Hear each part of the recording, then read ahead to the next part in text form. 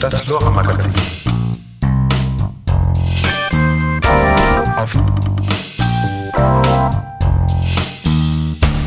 Ehrlich. Unbequem. Das Lora-Magazin. Herzlich willkommen im Lora-Magazin. Im Studio begrüßt sie Eva Schmidt.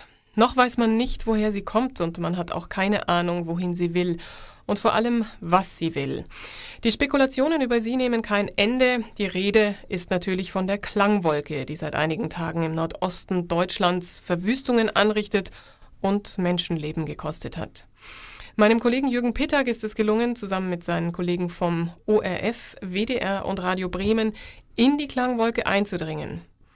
Bei dieser gefährlichen Aktion ist der ORF-Reporter Konrad Schüssel ums Leben gekommen. Unser Jürgen Pittack erlitt schwere innere Verletzungen und musste tagelang auf der Intensivstation behandelt werden. Umso mehr freue ich mich natürlich jetzt, Jürgen, dass du wieder in München sein kannst und hier bei mir im Studio. Ja, hallo Eva. Hallo Jürgen, jetzt wollen wir von dir natürlich erfahren, wie es zu dieser Aktion gekommen ist. Die Klangwolke ist ja weiträumig von der Polizei abgesperrt und eigentlich habt ihr keine Berechtigung gehabt, diese Absperrung zu durchbrechen und in die Klangwolke einzudringen, oder? Ja, ganz genau so war es. Wir waren vier, äh, nein eigentlich fünf, das war der Oliver Hirling noch vom RBB. Ähm, wir haben einen sehr guten Draht zueinander gehabt und wir fünf haben uns überlegt, wie man es denn schaffen könnte, in diese Klangwolke hineinzukommen. Hm, schließlich wollten wir rausbekommen, was drin ist und, und äh, das hat ja bisher noch keiner so richtig erfahren. Und ähm, naja, was war deine Frage nochmal? Wie habt ihr es denn angestellt, durch die Absperrung der Polizei zu kommen? Ja, das war eigentlich durch den Konrad, den Konrad Schüssel. Konrad war ein, ein ganz gewiefter Fuchs, wenn es darum ging, Informationen zu bekommen und Verbindungen zu knüpfen. Und im konkreten Fall hieß das jetzt, ähm, es ist Geld geflossen an die Polizei. Okay. Ihr seid dann auf die Klangwolke zugegangen. Wie kann man sich das vorstellen? Es ist eine Wolke, aber nicht wirklich eine Nebelwolke im optischen Sinn. Nein, nein, das ist kein Nebel. Ähm, es ist ähnlich wie Nebel, etwa wie eine, eine große, bauchige, haushohe Wolke, nur eben nicht am Himmel, sondern halt auf der Erde irgendwie. Und von dieser Wolke geht dann ein, ein Klangwind ab. Ja, wir haben in den Nachrichten ja immer wieder von diesen zerstörerischen Frequenzen, diesen Klangblitzen gehört. Wie konntet ihr euch dieser Klangwolke unbeschadet überhaupt nähern? Ja, keine Ahnung. Sie war eigentlich ganz friedlich und des Nachts hat man dann ein Brummen gehört.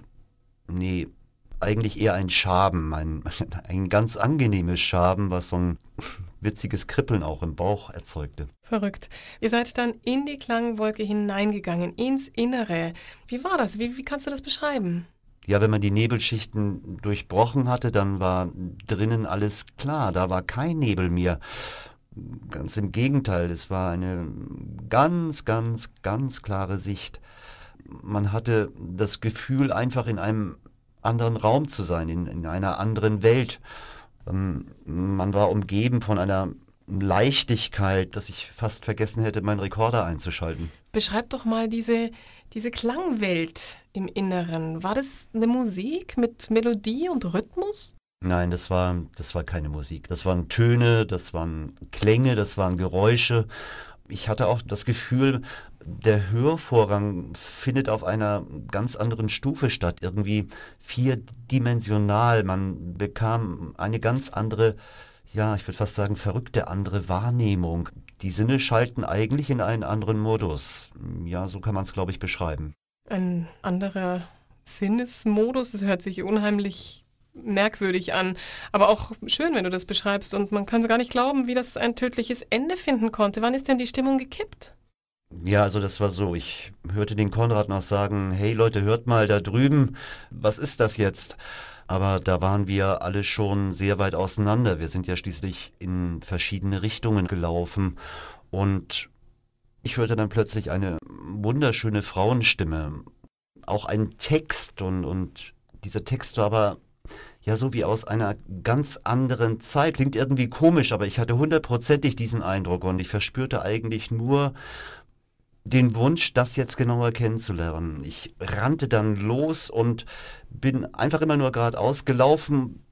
Ja, auf einmal, auf einmal tat sich vor mir, ich würde fast sagen, der Boden auf und irgendwie wurde es auf einmal wahnsinnig hell und ich bin dann ja hingefallen und ich spürte ein, ein unglaubliches Reißen in der Brust und dann ja, dann dieser Blackout. Ich, weiß von da an nichts mehr.